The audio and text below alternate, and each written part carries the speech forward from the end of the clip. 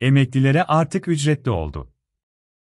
Bugünden itibaren geçerli olacak.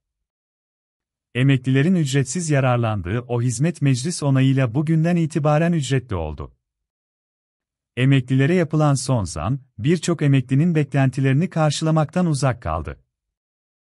Artan hayat pahalılığı ve enflasyon karşısında maaşları eriyen emekliler, geçim sıkıntısı yaşamaya devam ediyor.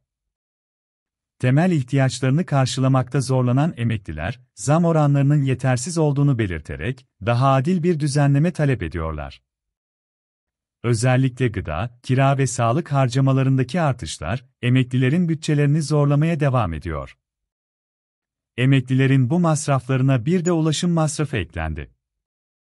Zonguldak'ın Ereğli ilçesinde 65 yaş üstü vatandaşlara sunulan ücretsiz toplu taşıma hizmeti sona erdi.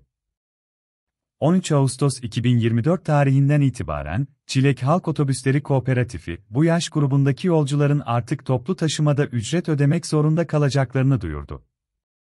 Kooperatif, bu kararın artan akaryakıt, araç bakımı, yedek parça, lastik, sigorta ve kasko maliyetleri nedeniyle alındığını belirtti.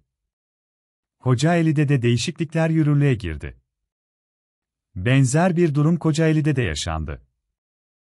Kocaeli Büyükşehir Belediyesi, 65 yaş üzeri vatandaşlar ve öğretmenler için ücretsiz ve indirimli bilet uygulamasında önemli değişiklikler yaparak sınırsız ücretsiz seyahat hakkını kaldırdı. Yeni düzenlemeye göre, bu gruptaki bireyler artık sadece 4 ücretsiz yolculuk yapabilecek, sonrasında ise ücret ödemek zorunda kalacaklar. Karar meclis tarafından onaylandı.